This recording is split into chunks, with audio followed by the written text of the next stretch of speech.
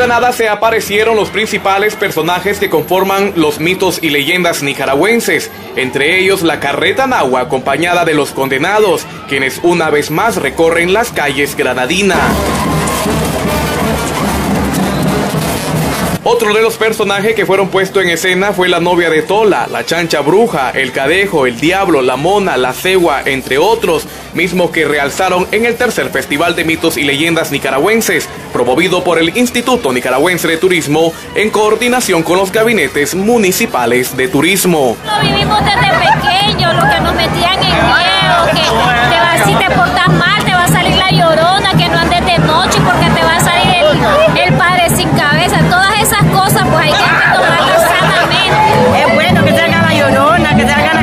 Agua, que salga la, la cegua, que salga el coyote, el, el, el perro, el conejo, el cadejo, el diablo.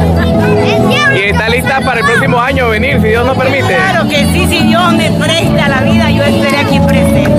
En este tercer festival, los artistas de la Escuela de Arte Escénica de Granada y el toro venado El Malinche de Doña Carmen Toribio en memoria le dieron colorido y realce a los mitos y leyendas que se han venido transmitiendo de generación en generación.